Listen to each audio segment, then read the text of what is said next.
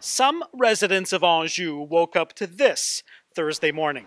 A window at their local library was damaged by a bullet. It went right through.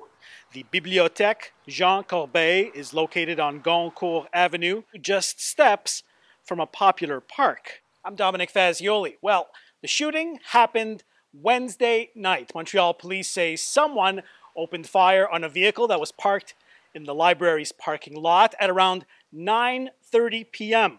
And luckily, the library was closed at the time.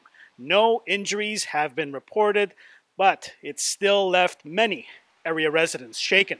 Ben c'est sûr, que ça m'inquiète, certainement que ça m'inquiète, même si j'ai pas de jeunes enfants. Euh, ça reste qu'ici, c'est un parc, là, puis c'est une bibliothèque. Euh, il y a des gens de tout âge. Moi, je donne des cours pour des aînés. Puis, euh, j'ai jamais vu de coup de fusil ici Anjou. Habituellement, c'est très, très tranquille. Malheureusement, oui, c'est inquiétant. No arrests have been made in this case. Now, if you have information to share, you can contact police, dial 911, or reach out to them via their info crime line. The number is at the bottom of your screen. For more stories, head to the East End Montreal Facebook page or visit my website, domenicfazioli.com. Thanks for watching.